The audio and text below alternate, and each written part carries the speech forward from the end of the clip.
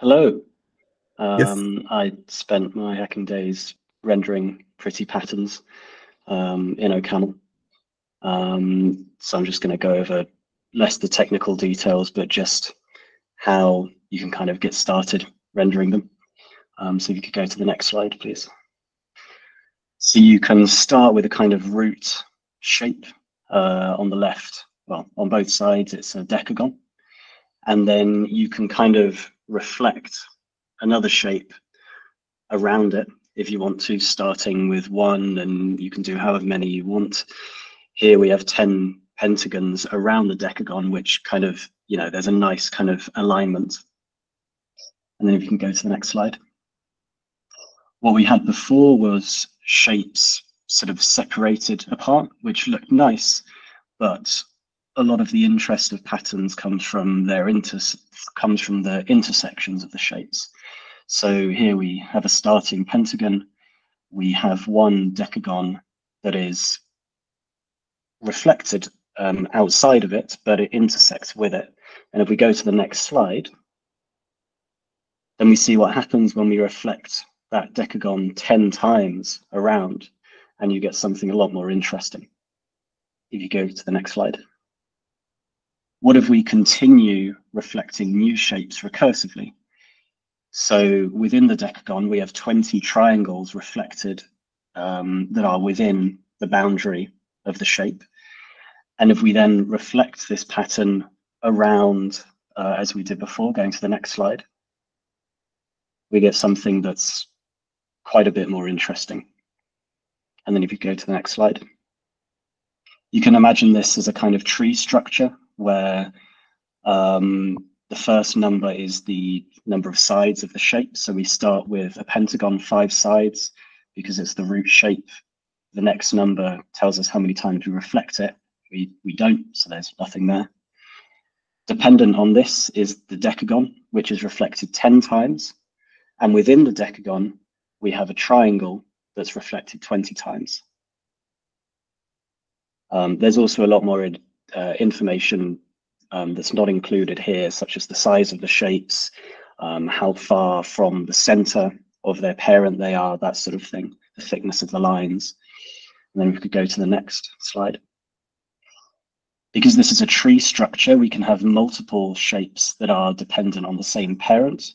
So here we have the same pentagon decagon uh, pattern that we had before with the uh, 10 uh, colon 10, but also dependent on the central pentagon are some triangles that uh, are sort of reflected around it as well, um, where there are three groupings of triangles. We have the one on the furthest outside. You can see how there is one particular grouping where each triangle is sort of a set um, angle apart the grouping in the middle um, looks like it's just one grouping of 20, but in order to sort of get the particular angles right, you can tell that the dis the angle between two triangles is slightly sort of different. And so I get that pattern by having two sets of 10 that are slightly offset from each other. And if you can go to the next slide. Here's another example. We can also choose not to render um, a shape, and instead the parent is not a shape that we render, but a, a point that is still reflected. So we start with our root. Um, we don't draw a shape.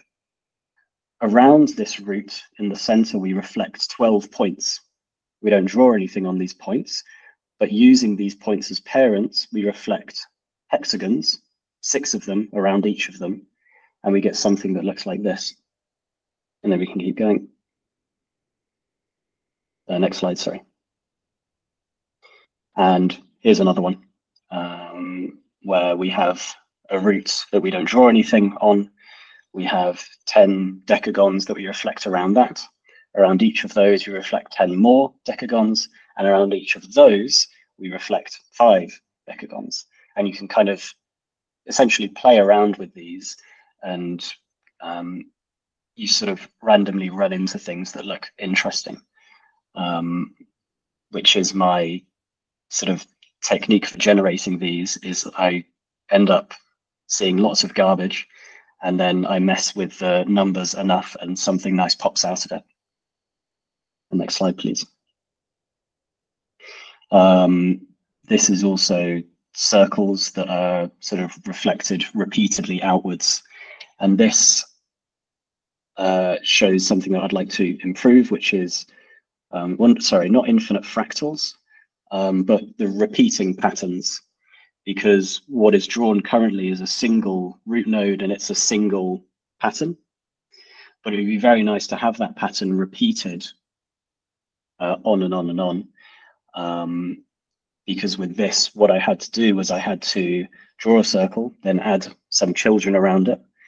There was still some space on the edges, so I added children to those, still some space on the edges, and you keep doing it until you fill up the square, but that's a lot of wasted space. Um, the specification is also done in code with records. Um, it would be nice to have some JSON input specification and to add some more customization, for example, different line widths for different shapes to have more finer detail. Um, and yeah, general customization. Uh, and that's all for me.